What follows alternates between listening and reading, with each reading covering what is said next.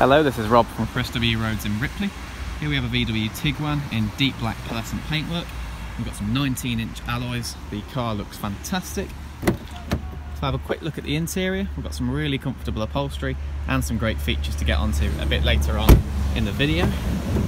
Now if I just take a seat in the back, I'll show you uh, show the space situation back here. So I've got loads of knee room, tons of headroom with a panoramic roof up above.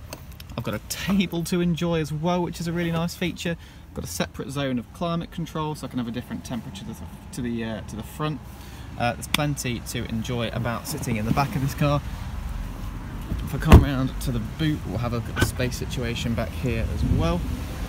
Got a really good sized boot, and the boot floor is nice and level with the back of the car, so it's easy enough to slide in heavy objects. If I come around to the side, we'll have a look at the shape of it quite simplistic in its design, but it really works. It looks modern, got some great lines and curves going on. And then if I just come around to the front, you'll see it looks great from that angle too. So now let's have a quick look at the interior. Okay, so we've got the adaptive cruise control over here. We've got some Bluetooth controls just there. Now if I just move over to the screen, you'll see we've currently got the map up for the sat-nav, which is a great size. It's in colour, it's lovely and clear. If I go to menu, and then select App Connect, you've got your smartphone connectivity options just there. If we go to radio, you'll see we've got DAB digital radio.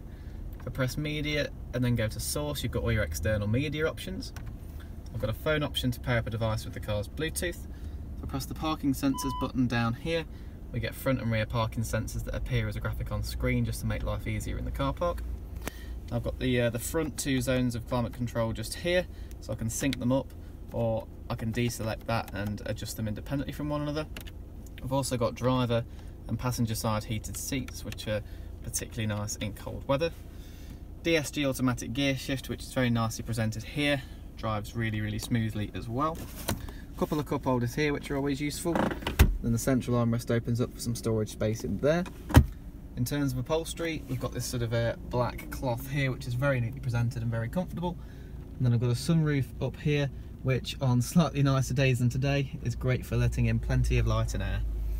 So for more details, please visit our website at www.chriswroads.co.uk. I'll pop a link to that in the description. Please check out our fantastic reviews and thank you very much for watching.